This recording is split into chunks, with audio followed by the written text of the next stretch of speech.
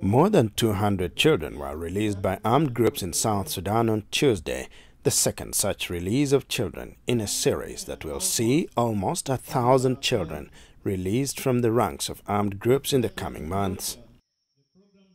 The first release of children, witnessed by the head of the UN mission in South Sudan, UNMISS, David Shearer, took place in Yambio town in early February, where more than 300 children were released to return to their families or to UNICEF-supported care centers.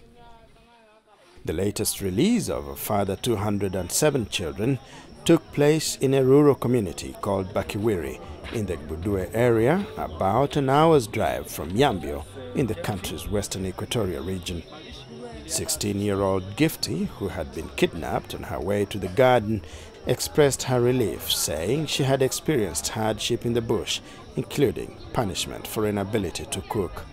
I'm very happy and I want to go back to my family and I want to stay with my family because I've taken a long time with, without them. For 17-year-old Matthew, looting and witnessing killings were traumatizing experiences that he would rather put behind him quickly. When I'm there in the bush, I am doing back to my peoples, to my community.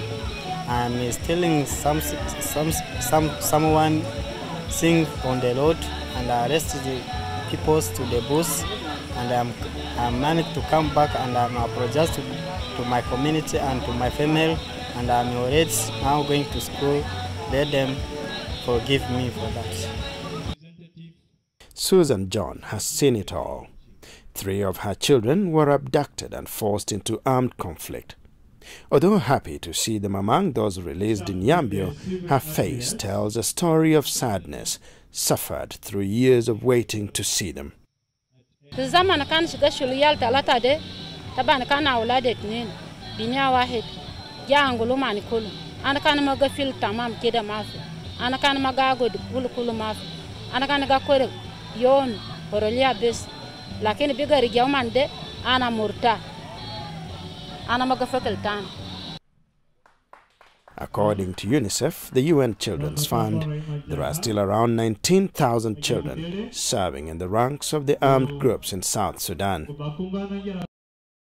For the UN mission in South Sudan, this release is an encouraging step in the overall protection of children in the country. All this is part of our move together with the government to ensure that uh, uh, the children of South Sudan are protected.